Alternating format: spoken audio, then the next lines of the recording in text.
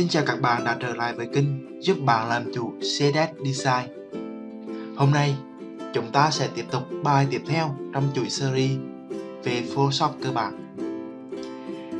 Và bây giờ trong bài hôm nay mình sẽ chia sẻ à, cách di chuyển trong à, Photoshop như thế nào và đồng thời mình sẽ cùng tiết lộ những cái thủ thuật quan trọng trong à, việc di chuyển đó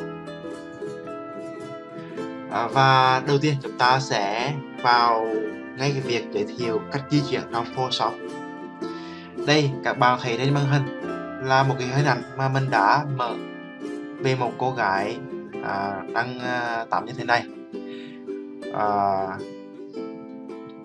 và bây giờ thì chúng ta à, sẽ à, zoom in nó lên tức là chúng ta nhấn control và dấu cộng đây chúng ta sẽ zoom in nó lên. Các bạn thấy à, trong Photoshop mà để à, để di chuyển à, thông thường á, thì à, để di chuyển bằng bàn phím thì chúng ta sẽ dùng cái nút way up là để di chuyển lên trên. Các bạn thấy khi mình nhấn lên trên như này way up và à, muốn di chuyển xuống dưới thì các bạn nhấn pay down trên bàn phím của các bạn vậy trong trường hợp mà muốn à, di chuyển sang trái hoặc sang phải thì phải làm gì? Thì các bạn phải nhấn giữ control và nhấn pay up để di chuyển sang trái và nhấn control và nhấn pay down để di chuyển sang phải. Thì các bạn thấy là cách này là khá là bất lợi vì à, một lúc chúng ta phải sử dụng nhiều à, phím cũng khá là khó khăn. Ok. Vậy thông thường là mọi người sẽ dùng À, uh, hand tool hand tool là cái hình uh, bằng tay. Và để kích hoạt cái hand tool đó thì mọi người thường sử dụng à, uh, nhấn giữ space. Các bạn thấy khi mà các bạn nhấn giữ space thì uh, cái con trỏ nó sẽ hiển thị là hình bằng tay. Và chúng ta sẽ dùng con trỏ chuột để di chuyển thế này. À, rất là tiện lợi à, rất là thuận tiện.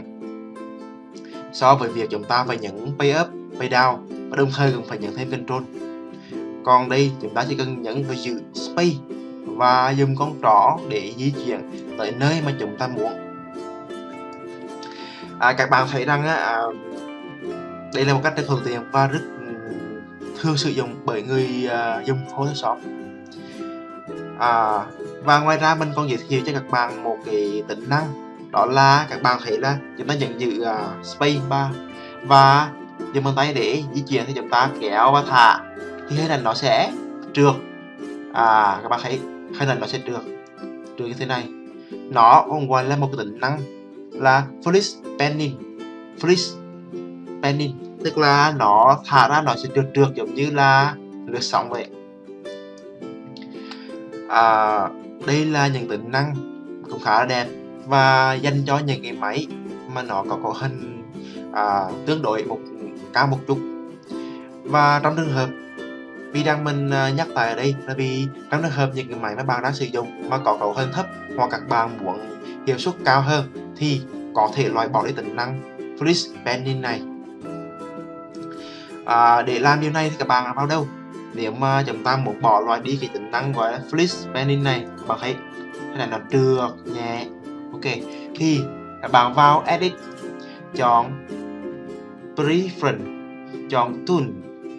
Thì ở đây à, các bạn thấy trên này là có một tính năng đó là enable flish panning tức là cho phép à, lướt nhẹ.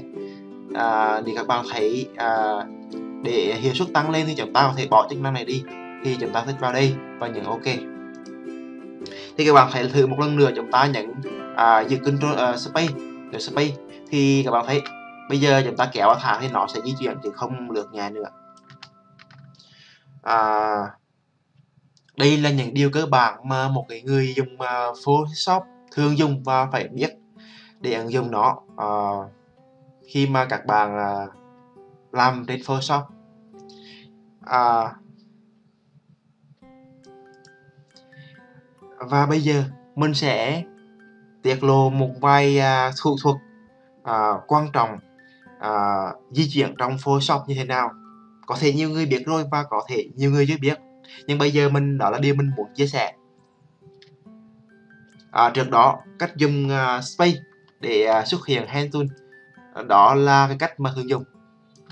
Vậy bây giờ để à, để à, dùng một cách à, thuận tiện hơn nữa thì đây. Các bạn thấy chúng ta có bên à, góc trái màn hình bên dưới này đó là công cụ hand tool tức là chúng ta kích vào là nó đã là xuất hiện hand tool và các bạn thấy thì ở đây là bằng tay. Ok um, tiếp theo thì các bạn hãy chuyển nó về à, à, màn hình là xuất hiện 100% như này thì các bạn nhấn gì? Nhấn control một. Đây ok. Bây giờ màn hình nó xuất hiện là trạng thái 100% như là mình đã nói trong các bài trước thì ở đây.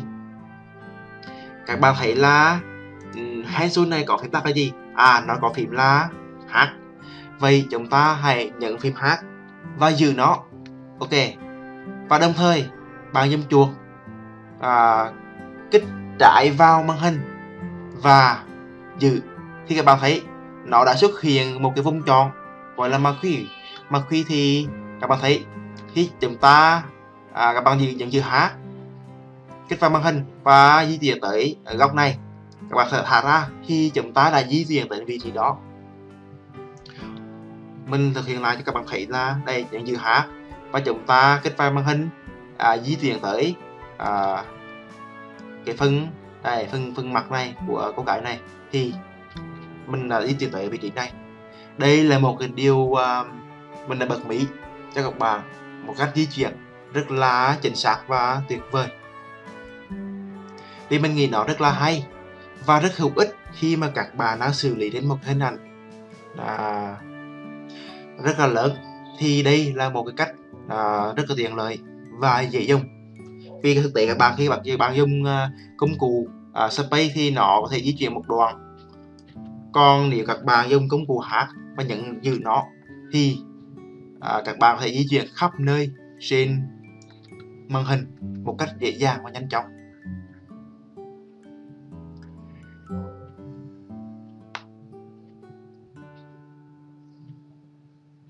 À, bây giờ mình sẽ thử mở một cái hình ảnh khác. Đây chúng ta sẽ mở lại một hình ảnh khác.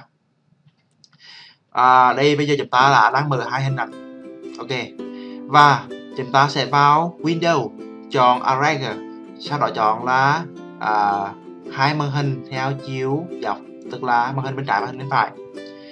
Và tiếp theo chúng ta các bạn thấy là khi mà chúng ta à, chúng ta đang chọn kích hoạt cái, cái, cái cửa sổ bên phải thì, các bạn thấy là khi chúng ta di chuyển như thế này, thì nó chỉ di chuyển, tức là chúng ta nhận giữ space và chúng ta di chuyển thì nó chỉ di chuyển một hình. Vậy, cách nào để chúng ta có thể di chuyển đồng thời hai hình ảnh này này? Thì chúng ta ở à đây, đầu tiên chúng ta hãy chuyển nó về một trạng thái là giống nhau. Chúng ta sẽ chuyển nó về là trên không này. Đây chân không, như này. Bây giờ chúng ta sẽ à, tìm ra cách di chuyển một lúc hai hình ảnh đây chúng ta nhận giữ space. Cha chúng ta kích hoạt hình ảnh này chẳng hạn. Ok chúng ta nhận giữ space thì di chuyển đúng không? Vậy bây giờ chúng ta muốn à, di chuyển cả hai hình cùng lúc thì chúng ta sẽ nhận giữ shift space để di chuyển đồng thời hai hình ảnh cùng một lúc. Đây đây là cái cách mà mình muốn chia sẻ để các bạn cách di chuyển trong uh, Photoshop cùng lúc hai màn hình như thế này.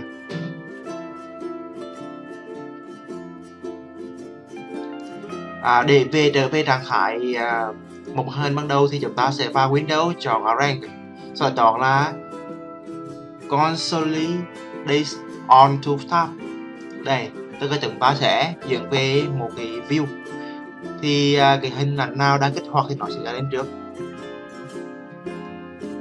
Và à, còn một điều nữa mà mình muốn à, chia sẻ với các bạn đó là các bạn thấy à, khi chúng ta đang ở chế độ chế độ là chẳng hạn bây giờ chúng ta đang chế độ là 100% chẳng hạn. Đây chúng ta nhận control một.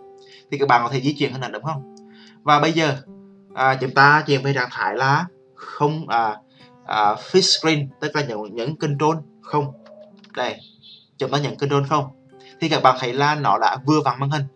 Và chúng ta dùng uh, con trò để di chuyển thì nó nó không di chuyển được nữa. Vậy làm cách nào để trong trường hợp đang full screen nhưng mà các bạn vẫn muốn di chuyển hình ảnh. Vì tại là mình thích nhìn à, theo một cái góc khía cạnh khác. Thì à, các bạn làm cách nào? Ở đây mình sẽ chỉ cho các bạn cách ừ, có thể di chuyển. Trong trường hợp mà các bạn đang nhìn chế độ là full screen. Đây chúng ta vào edit chọn reference chọn tool. Ở đây là chúng ta phải kích vào over scores tức là tất cả đều có quyền là di chuyển bất kỳ tình huống nào. Ok thì giờ bạn nhấn ok thì thì bây giờ các bạn thử di chuyển. Là mặc dù hình ảnh này đang là à, uh, fit screen nhưng mà chúng ta vẫn có thể là di chuyển được nó. Ok.